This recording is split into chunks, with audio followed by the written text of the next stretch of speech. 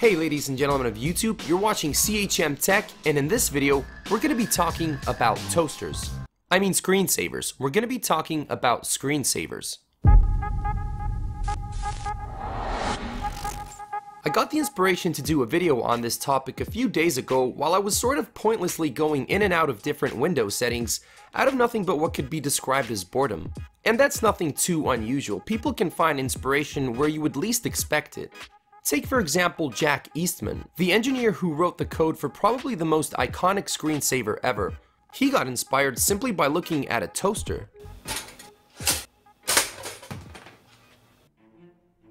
Flying Toasters is a screensaver module that was released by Berkeley Systems as part of the famous After Dark screensaver series. More specifically, it was introduced in the After Dark 2.0 pack and featured 1940 style chrome toasters with bird-like wings flying across the screen while being accompanied by pieces of toast. As the story goes, Jack Eastman came up with the idea during a sleepless night while he was wandering around his house trying to think of an engaging animation for After Dark 2.0. I wandered into the kitchen and saw a toaster, he said, and my bleary mind put wings on it. I ran upstairs and sketched a few black and white animation frames in an icon editor and coded it up that night. Flying Toasters was born. Of course, this was not the first screensaver ever to exist. Screensavers appeared in the early 1980s as programs that would blank the screen or fill it with moving images or patterns when the computer is not in use. At the time, most computer screens were based on cathode ray tubes, or CRTs, and this technology had an annoying flaw. When the same still image would constantly be displayed on a phosphor-based electronic display, such as the one CRTs had, the properties of the exposed areas of phosphor coating on the inside of the screen would gradually change, leading to something known as a ghost image or screen burn-in, which is permanent. Initially, the main purpose of screensavers was to prevent this from happening. Allegedly, the first screensaver was created by software developer John Socha, who is best known for creating Norton Commander and who also came up with the term screensaver. The screensaver he wrote for the original IBM PC was named SCRN Save, and it simply blanked the screen after 3 minutes of inactivity. It was published in the December 1983 issue of Softalk magazine. Of course, this was more than two decades after American science fiction writer Robert A. Heinlein gave a description of something rather screensaver-like in his 1961 novel Stranger in a Strange Land. Opposite his chair was a Stereovision tank disguised as an aquarium. He switched it on, guppies and tetras gave way to the face of the well-known winchell Augustus Greaves. You can find this quote quite often in articles about technologies being predicted before they came into existence. Now whether or not it's technically correct to use the term prediction in this specific context, one thing is for sure, Heinlein did give quite an accurate description of a particular style of screensavers that was quite popular when screensavers were a thing. And that, however, is not today.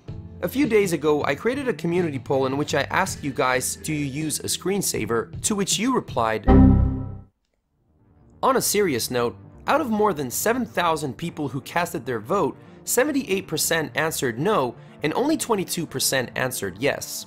And the results were no surprise. Long gone are the days when screensavers were a necessity. Modern computer screens have come a long way since the 1980s and are not very likely to be affected with the same severe burn-in problems that CRTs and older plasma screens once had. That by no means implies that the problem is completely gone, but with newer technologies, we've simply managed to find newer and more efficient ways of countering it. In fact, compared to older models, even newer CRTs are much less susceptible to burn-in thanks to positive changes like phosphor coating improvements. LCDs, on the other hand, are generally not affected by permanent burn-in. However, they do have their own equivalent of this problem, and it's called image persistence, which is luckily not permanent in most cases. OLED displays are a whole different story though, as they are very susceptible to their own type of burn-in. Currently, OLED displays can mostly be found on devices like smartphones and TVs, but TVs display moving images the great majority of the time, while smartphones simply blank the screen, usually after seconds of inactivity. Potential burn-in is also known to be countered by moving the image in a way that is practically unnoticeable to the human eye. Now, even though there may not be such a need for them nowadays, that doesn't mean that screensavers are completely gone. When it comes to desktop computers, today screensavers are mostly used for decorative purposes, but can also be utilized for password protection and even for activating a useful background task like a virus scan. Most modern operating systems include power saving options which can be adjusted to turn screens off after a specified period of inactivity, which not only reduces the possibility of burn-in and image persistence, but also saves precious power. Due to the changes in technology, this has become the more practical way of saving a screen, and many agree that the term screensaver has actually become somewhat of a misnomer. Still, if you ask me, screensavers are pretty cool, and if nothing, at least they'll be around just for fun. Hope you enjoyed the video. Thanks for watching, and as always, stay strong.